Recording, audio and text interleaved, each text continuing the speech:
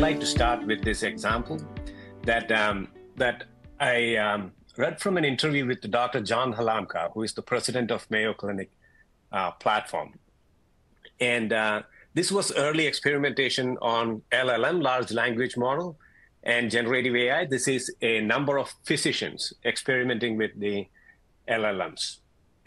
so they used an LLM here that um, that he mentioned it was not trained specifically on medical literature, but it has information about on about a billion people or so.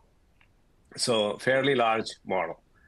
So the question was, uh, 59-year-old patient with uh, substernal chest pain, shortness of breath, hypotension, and left leg pain. And the question to LLM is, what is the diagnosis?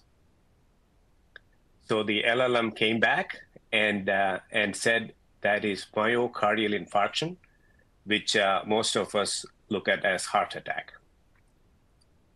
The issue there was that was an incorrect diagnosis.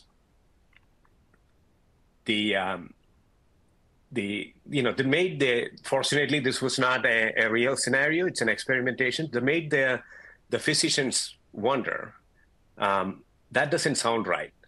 So then they asked the question what is the one condition that I should not miss? And the LLM came back with the answer dissecting aortic aneurysm, which is a much rare scenario, but that happens to be the, the right diagnosis. So I start with that because the possibility of uh, generative AI in assisting several scenarios, but also the risk associated with, uh, uh, with using it. Prompt engineering is, as many of you know, this already based on the answers you're providing, but it is about framing the inputs so, so you get better outputs from the model. So that is, that is the importance of that. Importance of the, the model selection and how you tune the models. And of course, the importance of data that is, uh, that is leveraged in the, in the project.